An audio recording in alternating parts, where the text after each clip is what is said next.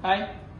Hari ni saya nak tunjuk Macam mana kita nak tahu Saiz bingkai cermin mata. So kalau anda tengok kat sini Kalau anda tengok kat sini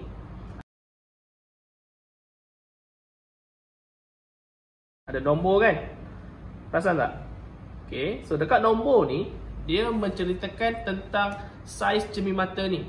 So nombor yang pertama kalau kita tengok kat depan tu Dia tulis nombor 52 So 52 itu adalah Saiz daripada penjuru sini Sehingga ke penjuru sini.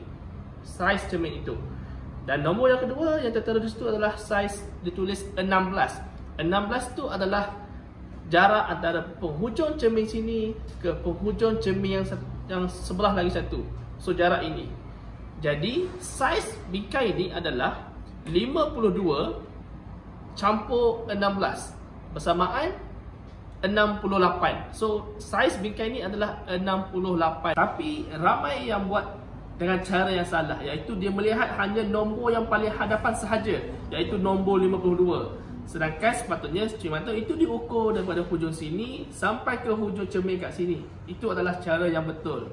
Dan ramai yang tanya saya Apa nombor yang belakang tu yang 135 Ada yang setengah, setengah cermin mata 140 Itu adalah saiz panjang kaki dia ni Daripada penjuru sini Yang ni penjuru sini Sehingga ke penjuru sini Iaitu 135mm ha, So simple je itu saja cara nak baca saiz cermin mata dengan betul. So, nak tips lebih, like page ni, follow dan ada soalan, terus komen ruangan bawah. InsyaAllah kami akan jawab. Assalamualaikum.